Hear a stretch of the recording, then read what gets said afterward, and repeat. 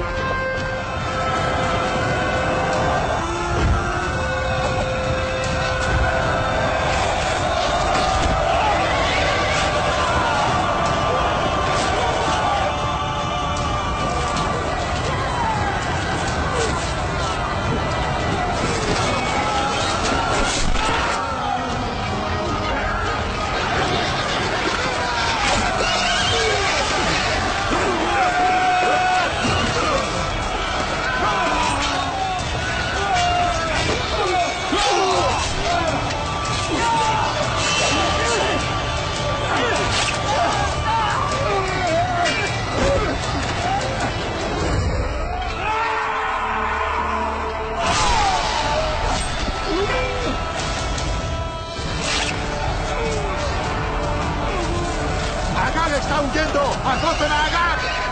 ¡Acoten a Agag! ¡Vamos!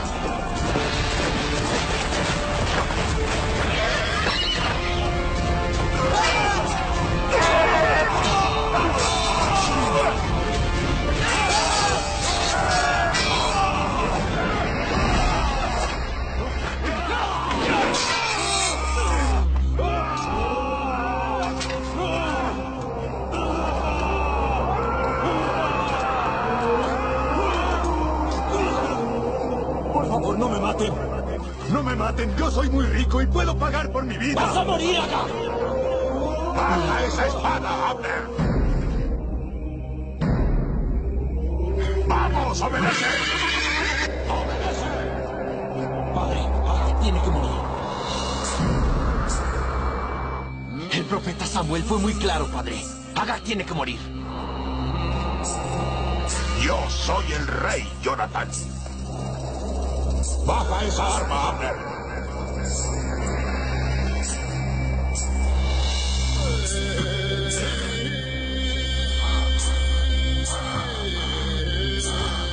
Yo soy el rey.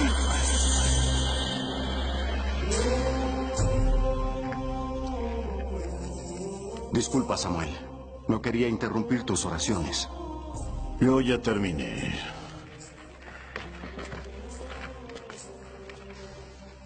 Por qué estás así tan abatido? Saúl dejó de seguir al Señor.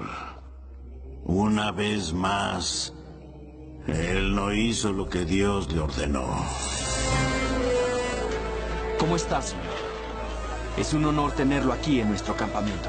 Esta vez tu padre fue demasiado lejos, Jonathan.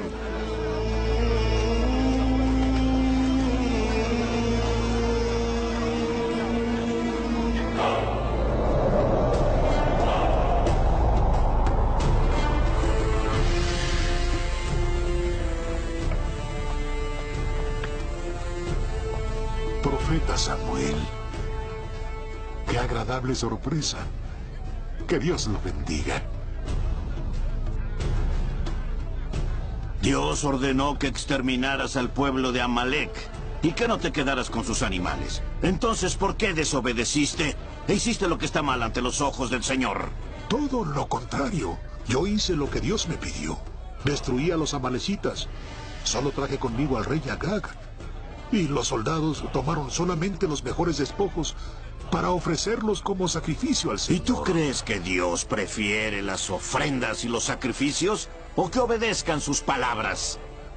Obedecer es mejor que sacrificar. La rebelión, mi querido Saúl, es casi igual que el pecado de la hechicería. Y la obstinación es igual al de la idolatría. Y así como tú rechazaste la palabra del Señor, Él también te rechazó y vas a dejar de ser el rey. Favor. Espere. Perdóneme, profeta. Yo pequé contra Dios. Yo me arrepiento. Por favor, honreme delante de mi pueblo. No permita que pase esta vergüenza. Traigan al rey Amalecita. ¡Ahora! ¿Qué es lo que van a hacer conmigo?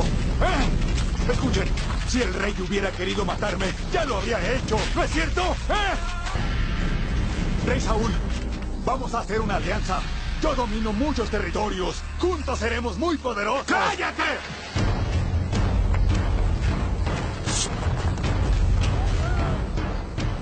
Así como tu espada separó a miles de mujeres de sus hijos, ahora tu madre se convertirá en una mujer ciego.